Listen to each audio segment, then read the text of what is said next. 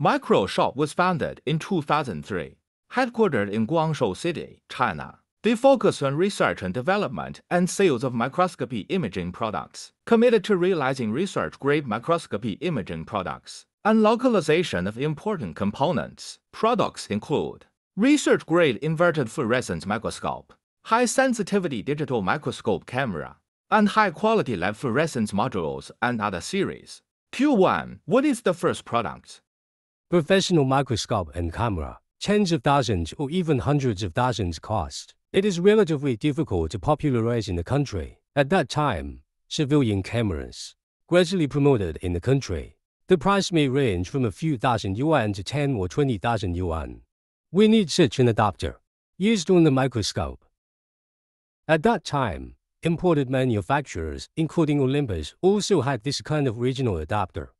After a period of exploration, we just made this optical adapter for the microscope camera. This is why we did it in the first place. Because there is a relatively large market demand. Q2, what kind of spirit is required for product research and development? You will discover it when you really do it yourself. The adapter we made ourselves. The clarity of the image is not as good as the original one. At first we didn't understand the reasons. It took almost two years. Only then did the entire light path. The principles of the structure are made clearer. There is a need for light-absorbing materials and a diaphragm to remove the light spots. This is also a process of constant exploration. In this process, we also know any product that looks simple actually there is still some profound knowledge in it. So we need to have some respect when making products. Q3, what are the challenges in developing fluorescence modules?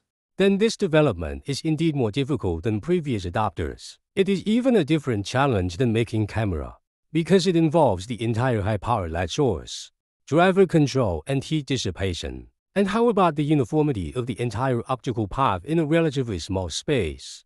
Make it simpler and more effective. That also requires continuous polishing. In fact, it takes three to five years of polishing.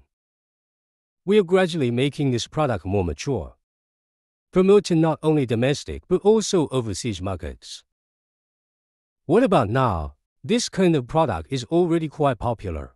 Q4, what is Microshot's marketing strategy? The actual market in the field of scientific instruments is very limited. If there is a price war, then you have no money or funds to develop and research again. Your new products will be launched less and less.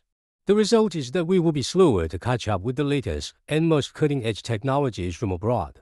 Upgrading of the entire industry will also slow down then our strategy is to maintain a reasonable profit and maintain a reasonable profit, then provide good service and market well. It is also hoped that a virtuous cycle will be formed to upgrade the industry. Q5, what is the future direction of Microshot? When facing the future, we would rather do a good job in microscopy automation and electrification. At the same time, we also pay great attention to intelligence. Microscopes are not just about the micron level.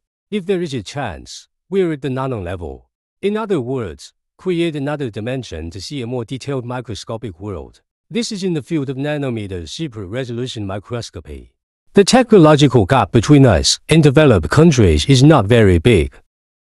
There are many domestic institutions now, including research institutions, and state also invest heavily to develop this super resolution microscope.